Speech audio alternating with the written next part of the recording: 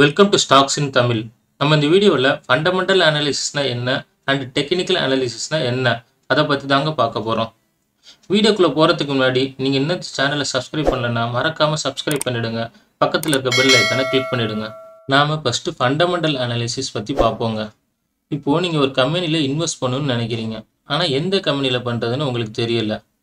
இப்போ பார்த்தீங்கன்னா என்எஸ்சியில் கிட்டத்தட்ட ஆயிரத்தி அறநூறு கம்பெனிக்கு மேலே இருக்குங்க. பிஎஸ்சியில் ஐயாயிரம் கம்பெனிக்கு மேலே இருக்குங்க. இதில் எந்த கம்பெனியில் பண்ணலாம்?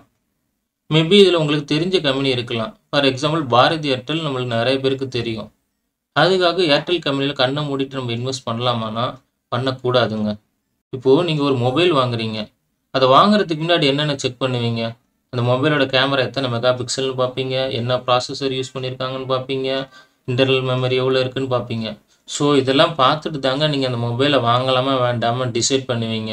அதே மாதிரி தாங்க ஒரு கம்பெனியில் முதலீடு பண்ணுறதுக்கு முன்னாடி அந்த கம்பெனியை பற்றி முழு டீட்டெயிலும் தெரிஞ்சுக்கிட்டு தாங்க அந்த கம்பெனியில் நம்ம முதலீடு பண்ணணும். ஸோ அதை தெரிஞ்சுக்கிறதுக்கு நம்ம ஹெல்ப் பண்ணுறது தாங்க ஃபண்டமெண்டல் அனாலிசிஸ் ஃபண்டமெண்டல் அனாலிசிஸ் மூலம் நம்ம என்னென்ன செக் பண்ணுவோம்னா அந்த கம்பெனியோட மார்க்கெட் கேப் எவ்வளோ இருக்குது ப்ரொமோட்டர்ஸ் ஹோல்டிங் எவ்வளோ இருக்குது அந்த கம்பெனியோட ப்ரொமோட்டர்ஸ் யார்? அந்த கம்பெனி எந்த செக்டார்ஸுக்கு கீழே வருது? இதுவரை எவ்வளோ டிவிடெண்ட் கொடுத்துருக்காங்க? கம்பெனியோட பி ரேஷியோ எவ்வளோ இருக்குது கம்பெனிக்கு எவ்வளோ கடன் இருக்குது? அந்த கம்பெனியோட புக் வேல்யூ என்ன? அந்த கம்பெனியோட ரிட்டர்ன் ஆன் ஈக்விட்டி எவ்வளோ இருக்குது ஏர்னிங் பெர் ஷேர் எவ்வளோ இருக்குது அந்த கம்பெனியோட நெட் இன்கம் என்ன? ஸோ இது எல்லாத்தையும் நம்ம ஃபண்டமெண்டல் அனாலிஸ் மூலம் செக் பண்ணலாங்க. ஸோ இதெல்லாம் என்னன்னு சொல்லிட்டு நான் இப்போ சொன்னேன்னா இந்த வீடியோட லென்த் ரொம்ப அதிகமாகிடுங்க ஸோ இதெல்லாம் என்னன்னு சொல்லிட்டு நான் செப்பரேட்டான வீடியோஸ் போடுறேன். அடுத்து என்ன பார்க்கணும்னா இந்த கம்பெனியோட குவார்டர்லி ரிசல்ட்டை நம்ம செக் பண்ணணுங்க. இந்த குவார்ட்டர்லி ரிசல்ட் வந்து நம்ம கம்பெனியோட வெப்சைட்லையும் எடுத்துக்கலாம். இல்லை மணி கண்ட்ரோல் டாட் காம் வெப்சைட்லையும் எடுத்துக்கலாம். இல்லை ஸ்க்ரீனர் டாட் இன் வெப்சைட் அதுலேயும் போய்ட்டு நம்ம இந்த கம்பெனியோட குவார்ட்டர் ரிசல்ட் எடுத்து பார்க்கலாங்க. ஸோ நம்ம இதில் என்ன பார்க்கலாம்னா கடந்த மூணு மாதத்துக்கு இந்த கம்பெனி எவ்வளோ சேல்ஸ் பண்ணியிருக்காங்க எவ்வளோ செலவு பண்ணியிருக்காங்க அதெல்லாம் பார்க்கலாங்க. அதை வந்து முந்தின மூணு மாதத்தோட கம்பேர் பண்ணி பார்க்கலாங்க. அடுத்து ப்ராஃபிட் அண்ட் லாஸ் ஸ்டேட்மெண்ட் இதில் என்ன பார்க்கலான்னா இந்த கம்பெனி இந்த வருஷம் எவ்வளோ ப்ராஃபிட் பார்த்துருக்காங்க? இது முந்தின வருஷத்தோட அதிகமாக இருக்கா கம்மியாக இருக்கா? ஸோ அதெல்லாம் இதில் செக் பண்ணி பார்க்கலாங்க. நெக்ஸ்ட் பேலன்ஸ் ஷீட்டு அந்த கம்பெனி எவ்வளோ கடன் வாங்கியிருக்காங்க? அது போன வருஷத்தோட இந்த வருஷம் கம்மியாக இருக்கா அதிகமாக இருக்கா? அவங்கள்ட்ட எவ்வளோ அசட்ஸ் இருக்குது அவங்க என்னென்ன இன்வெஸ்ட்மெண்ட் பண்ணியிருக்காங்க? ஸோ அது எல்லாத்தையுமே பேலன்ஸ் ஷீட்டில் நம்ம பார்க்கலாங்க. அடுத்து கேஷ் ஃப்ளோ ஸ்டேட்மெண்ட் அந்த கம்பெனிக்கு எங்கெங்கேருந்துலாம் அமௌண்ட் வருது எங்கெங்கெல்லாம் அமௌண்ட் போகுது அவங்க ப்ராடக்ட்லேருந்து எவ்வளோ அவங்களுக்கு அமௌண்ட் வருது அவங்க இன்வெஸ்ட்மெண்ட் பண்ணியிருக்கிறதுலேருந்து அவங்களுக்கு எவ்வளோ அமௌண்ட் வருது? ஸோ இது எல்லாத்தையுமே நம்ம கேஷ் ஃப்ளோ ஸ்டேட்மெண்ட்டில் செக் பண்ணி பார்க்கலாங்க. அது முந்தின வருஷம் எவ்வளோ வந்துச்சு? இந்த வருஷம் அது அதிகமாக இருக்கா? கம்மியாக இருக்கா? ஸோ அதெல்லாம் வச்சு நம்ம டிசைட் பண்ணலாங்க. அடுத்து ஷேர் ஹோல்டிங் பேட்டர்ன்ஸ் அந்த கம்பெனியில் ஃபாரின் இன்வெஸ்டர் எவ்வளோ இன்வெஸ்ட் பண்ணியிருக்காங்க? டொமஸ்டிக் இன்வெஸ்டர் எவ்வளோ இன்வெஸ்ட் பண்ணியிருக்காங்க? பப்ளிக் எவ்வளோ இன்வெஸ்ட் பண்ணியிருக்காங்க? அது எல்லாத்தையுமே ஷேர் ஹோல்டிங் பேட்டர்னில் செக் பண்ணலாங்க. டொமஸ்டிக் இன்வெஸ்டர்ஸ் யார் யாருன்னு பார்த்தீங்கன்னா பேங்க்ஸ் மியூச்சுவல் ஃபண்ட் இன்சூரன்ஸ் கம்பெனிஸ்லாம் இருக்காங்கல்ல அவங்க தாங்க டொமஸ்டிக் இன்வெஸ்டர்ஸ் ஸோ இதெல்லாம் செக் பண்ணிவிட்டு அந்த கம்பெனியில் முதலீடு பண்ணலாமா வேணாங்கம்மா அப்படிங்கிறத நம்ம டிசைட் பண்ணிக்கலாங்க. இதெல்லாம் எப்படி செக் பண்ணுறதுன்னு சொல்லிட்டு நான் செப்பரேட்டாக வீடியோஸ் போடுறேங்க. நான் இன்வெஸ்ட்மெண்ட் பண்ண போகிறதில்ல ட்ரேடிங் மட்டும்தான் பண்ண போகிறேன் அப்படின்னா நீங்கள் ஃபண்டமெண்டல் அனாலிசிஸில் ஃபோக்கஸ் பண்ண வேண்டியது இல்லைங்க நீங்கள் ஃபோக்கஸ் பண்ண வேண்டியது டெக்னிக்கல் அனாலிசிஸ்லாங்க டெக்னிக்கல் அனாலிசிஸ் எதை பேஸ் பண்ணியிருக்கோம்னா அந்த கம்பெனியோட ஸ்டாக்ஸோட ப்ரைஸ் மூவ்மெண்ட்டை பேஸ் பண்ணி தாங்க இருக்கும். அந்த ப்ரைஸ் மூவ்மெண்ட்டை எதில் செக் பண்ணலான்னா அந்த கம்பெனியோட சார்ட்டில் செக் பண்ணலாங்க. அந்த சார்ட் இந்த மாதிரி தாங்க இருக்கும். இது எதில் இருக்கும்னா நீங்கள் ப்ரோக்கர் அக்கௌண்ட் ஓப்பன் பண்ணுறீங்களே அவங்களே இதை ப்ரொவைட் பண்ணுவாங்க. நீங்கள் இன்னும் ட்ரேடிங் அக்கௌண்ட் ஓப்பன் பண்ணலன்னா ட்ரேடிங் வியூ டாட் காம்னு ஒரு வெப்சைட் இருக்குங்க. அதில் போயிட்டு நீங்கள் இந்த சார்ட்டை பார்க்கலாங்க.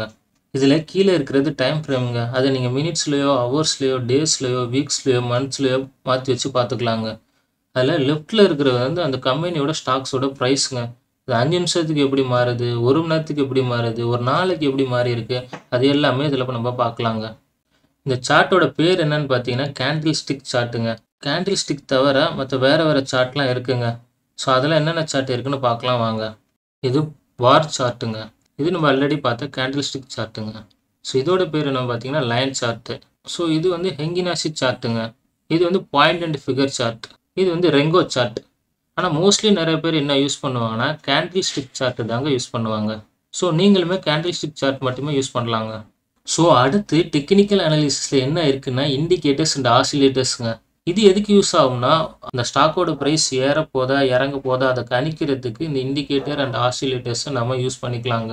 இங்கே நான் கீழே கொடுத்துருக்கிறது மேக்ஸிமம் நிறைய பேர் யூஸ் பண்ணுற இண்டிகேட்டர்ஸுங்க அது என்னென்னு பார்த்தீங்கன்னா moving average RSI MACD ADX Bollinger band CCI pivot point CPR so இந்த மாதிரி இன்னும் நிறைய இண்டிகேட்டர்ஸ் இருக்குங்க.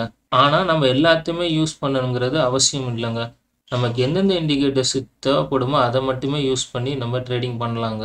இந்த இண்டிகேட்டர்ஸ் அண்ட் ஆசிலேட்டர்ஸை எப்படி யூஸ் பண்ணலான்னா நம்ம இதை வந்து நம்ம ஆல்ரெடி பார்த்த சார்ட்டில் அப்ளை பண்ணலாங்க.